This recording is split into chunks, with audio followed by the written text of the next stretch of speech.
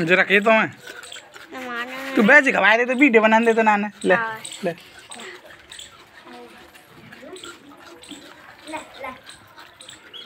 मुझे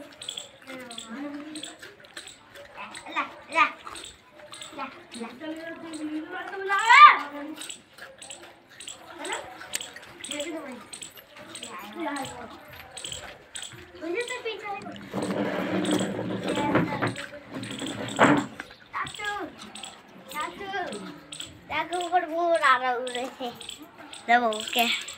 नहीं Betul lihat. Mandi, mandi. Giống.